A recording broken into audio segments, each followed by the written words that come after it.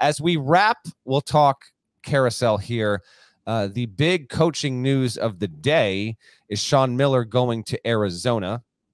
And uh, I'll give some backstory on this, but before I do, uh, Cobb, I just want your thoughts. How surprised you are over the idea that Sean Miller, a year after being fired from Arizona, and while he still has not yet been punished by the IARP from uh, from his level one coaching charge violation, uh, coach control violation charge, uh, nevertheless, it, it did not prohibit him from making a return from where he once came and going back to Cincinnati. Well, they had some pretty good choices, didn't they? Right? If it, if it was going to be a former Xavier coach, last I checked, uh, Chris Mack is also on the market. And, and yes, but as I under, yeah, I, I, don't think Chris Mack has any desire right now. To, I know what you're saying, but I, I don't think uh, it was a Mack versus Miller kind of race. Mack, obviously, somebody floated Thad Matta as well. Was that you or did, was that somebody? No, I, I I put it out there that he was so good that might it be uh might it be something to consider. And then I had actually forgotten about this when Matta left Xavier. It actually did not. It did. They, they didn't split on the best of terms. That was 04, I think. Uh, and I had forgotten that. Um, so there were uh, a few people, and then some. Frankly, some Xavier fans who reminded me it's not going to be Thad, but uh, his win percentage was tremendous there, and Thad's obviously a, a very good coach. But uh, but no, this Miller was their top target basically from when they surprisingly the way they did it when they fired Steele all of what five days ago at this point.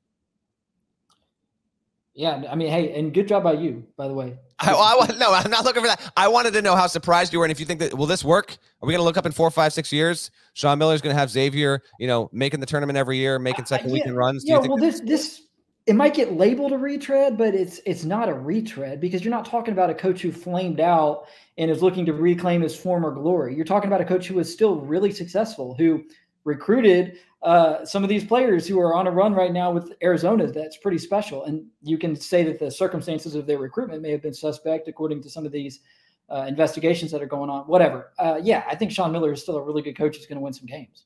I I think so as well. If you want the backstory on how this came to be, um, I'll try and be quick on it. So uh, Miller didn't coach this year, obviously. Wanted to get back in. Xavier and its athletic director, Greg Christopher, like this is a hire that he has to get right to save his job without a doubt. Can't miss on it. Xavier's not used to not making the tournament, you know, three consecutive tournaments, and that's exactly what happened under Steele. So they targeted Sean.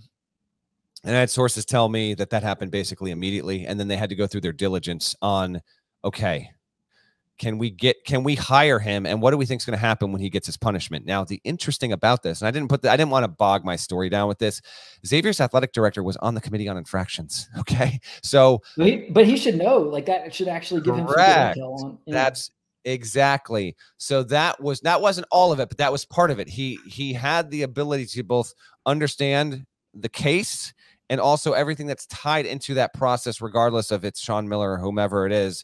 And so that helped the process.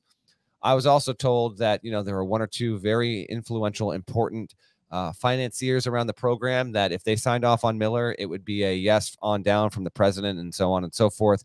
That got done. Uh, but yes, there was red tape to work around to figure out if it could happen. South Carolina came hard, and I mean hard. I don't want to hear any denials after the fact. Uh uh-uh. uh Sean Miller had a standing offer from South Carolina that I'm told was 1 million more per year according to an industry source, one million more per year than what Xavier, because Xavier's not absolutely flush with cash. It's not poor or anything like that, but it doesn't have the resources to absolutely come hard the way that, frankly, a lot of SEC and other big conference programs can. So that caused Miller to uh, to vacillate for a little bit. Xavier was his preference, but again, they were waiting there. It was a weird, like leverage, non-leverage situation. Like Sean Miller kind of had leverage because he had two standing offers. He he had both offers available to him on Saturday morning.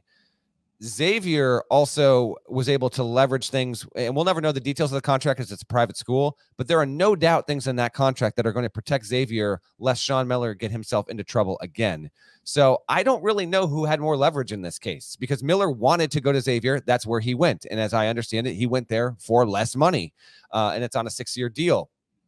With all of that as backdrop, I do anticipate Sean Miller will be suspended next season.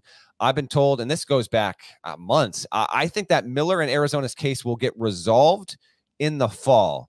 I think September's the earliest, and I think November's the latest, but I think there's going to be an intention to get that thing done before the season starts. Knock on wood, come find me when it's January and we don't still still don't have an answer. The expectation is because Bruce Pearl didn't get hit that hard, and they had a postseason ban, self-imposed. Arizona did a self-imposed postseason ban under Miller. Like, they, I don't think they're going to expect Miller to get more than three, five, six games. 10, I think, would be more than they're expecting, but not unthinkable. Anything more than that, I don't think is on the table. So you take that, you take the suspension, you deal with it, then you got Miller for the long run. So we go. Xavier has its guy there. That's the story with Miller. Now, because of that, South Carolina is open. We kind of wait and see, to be honest. Uh, I've heard uh, BJ McKie, a Wake Forest assistant uh, from South Carolina, is in there. I've heard Lamont Paris is in there. There's wonderment about whether or not Matt McMahon would be in there. I'm suspicious that he would. In fact, the interesting is, thing is McMahon was tied to Missouri. Now that's been reported that it's Dennis Gates, and there's going to have to be some official stuff from the university that has to get voted into on Monday for Dennis Gates, Cleveland State coach, to be the next guy at Missouri. Mississippi State is still open. Again, I think that will be Chris Jans.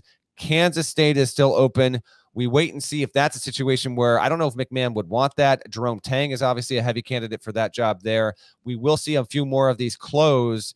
And then, oh, by the way, I mean, I'm losing track of my days. I get was Todd.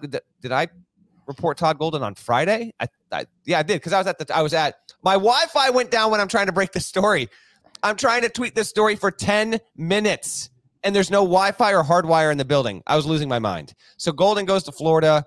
Um, that got worked out earlier in the week, and they get they get the San Francisco coach. There's been a lot. It's it's hard to keep track of all of this stuff, but uh, but yeah, that's kind of where we're at. Miller to Xavier is the big one, but there's a lot of moving pieces, and I think that there's the potential for Sunday for there to be another big job or two to close, and then on Monday another big job or two to close. Thoughts, Cobb? The, Go with it where yeah, you well, want. The, uh, well, Sean Miller, uh, going back to Xavier, the Big East feels very gettable right now. Villanova is Villanova. After Villanova, it feels second place in the Big East feels like anybody's game next season. Providence obviously won the league this year, regular season title, still dancing, phenomenal story.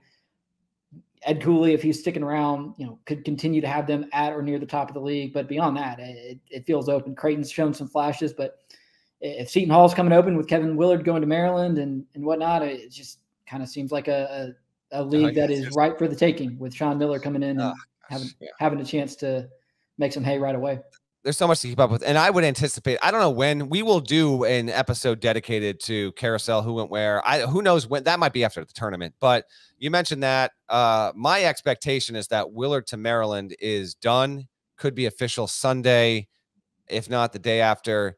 It would stun everyone in the industry if Kevin Willard isn't going to Maryland at this point. And how, actually, how are Terps fans, how are Terps fans feeling about know. that one? it doesn't seem like it's a, a move. Again, he's one in five in the NCAA tournament. Now, had they gone in 2020, we had a tournament. Maybe he wins one or two games, and he's not one in five. I, you know, I, I get all that, but um, it's tough to. uh I mean, Seton Hall was a complete no-show, dude. TCU rolled him, and it's so at least Willard, like Willard, didn't beg off the question entirely in his press conference. He's like, I, I got to talk to my agent, and then if I'm not here and Shaheen's here, it'll be the happiest I've been. I get all that. Shaheen Holloway to Seton Hall seems like it should be the next move. Um, and I think that's probably where it'll go. Uh, but I did get told one name. Uh, for record, I can't say the name on the podcast. Sorry, that's that's just uh, that's a tease for you. What I think I it'll probably be Holloway. Now you're not, even if you guess it, I'm not going there. Even if you guess, I can't. I can't. Um, I got asked in the chat who's Tulsa going to hire. I don't know. I'll give you some names. Uh, I'll give you some. names. I've heard. Okay, I've heard for Tulsa. I've heard Kyle Keller, Stephen F. Austin. I've heard Steve Lutz from Corpus Christi. I've heard Eric Konkol, Louisiana Tech. I've heard maybe like long shot Frank Martin. I don't know about that, man. I, I don't know about that. He's pretty good in studio, actually. He is, he is. And then I want to say I got told one more, and I can't remember who. Um, uh, Grant McCasland? No, no, no. Grant McCasland won't leave North Texas for Tulsa. He's got a better situation in so many ways at North Texas. He will not. Grant McCasland, I believe, is also taking his name out of consideration for Kansas State. So we keep an eye on that. And then as far as LSU, who the heck knows? Maybe Matt McMahon will go to LSU.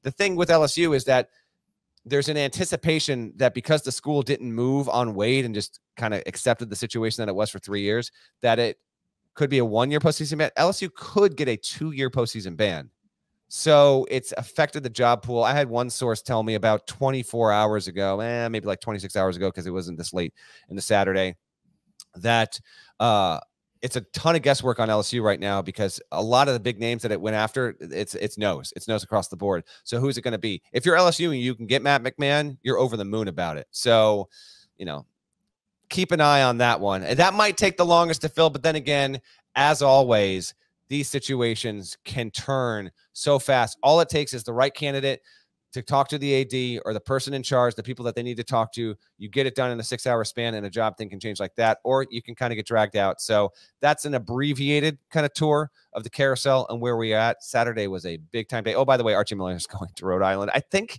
I think that stuff leaked like with two minutes to go in a really good game. And uh, it's like uh, timing. What are we doing here? Can we wait yeah, until we're in a stinker? You, might have thought I, I want to say there was like an awesome game happening when the Archie Miller, when I got a text from a source that it was done, he was going to Rhode Island. I was like, really? Right now? We're doing this? His, his camp could have gotten maybe some more PR if they'd waited uh, for, for a more opportune moment in the news cycle.